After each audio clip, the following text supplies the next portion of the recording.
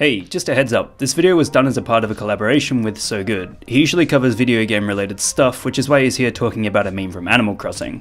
He's a nice guy, and it's been fun. Enjoy. The Froggy Chair meme is cute, memorable, and just like many other popular Animal Crossing memes right now, it soothes the soul and does its job as a meme that reminds us of the nicer things in life, especially amidst all the uncertainty and chaos caused by the COVID 19 pandemic. It's likely that the resurgence of interest surrounding the Froggy Chair stems from the recent release of Animal Crossing New Horizons. The Froggy Chair itself comes from an Animal Crossing game released in 2012, Animal Crossing New Leaf, which released on the Nintendo 3DS hence the low resolution appearance of the furniture in most memes. The froggy chair image used most within meme culture comes from a 2014 post on Animal Crossing fan site New Leaf HQ. However, this image wouldn't see widespread adoption as a meme until November 12, 2019, when Tumblr user Garbage adapted it into a Thanos meme. This incited a flood of memes where people demanded Froggy Chair return in Animal Crossing New Horizons. Perhaps the people's wish for the return of the Froggy Chair in 2020's new Animal Crossing game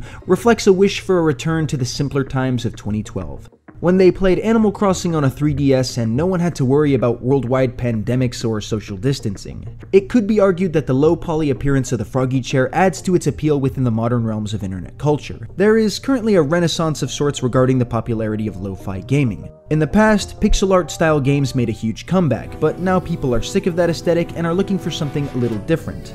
With the advent of vaporwave aesthetics becoming popular in mainstream fashion, so too has the appreciation for video game imagery reminiscent of older times. The prevalence and demand for imagery resembling older video games is huge, as is clear with the creation of the haunted PS1 demo disc that pays homage to the blocky renderings of yesteryear. As such, it's easy to understand why the Froggy Chair has become such a hit within meme culture, and why nostalgic video game memes continue to dominate the internet. Furthermore, it could be argued that the Froggy Chair's meme lifespan has been extended with the introduction of more surreal or straight up horrifying versions of this meme. And although they didn't release it directly in New Horizons, perhaps Nintendo has plans to add the Froggy Chair into the game as DLC in the future, given its huge albeit brief position in the spotlight of meme culture. Though one must ask themselves, what sort of ingredients must one sacrifice to craft such a sacred treasure? What meme would you guys like lessons in meme culture to give a lesson on next? Let me know in the comments down below. Click subscribe. Lessons in meme culture is certified good channel.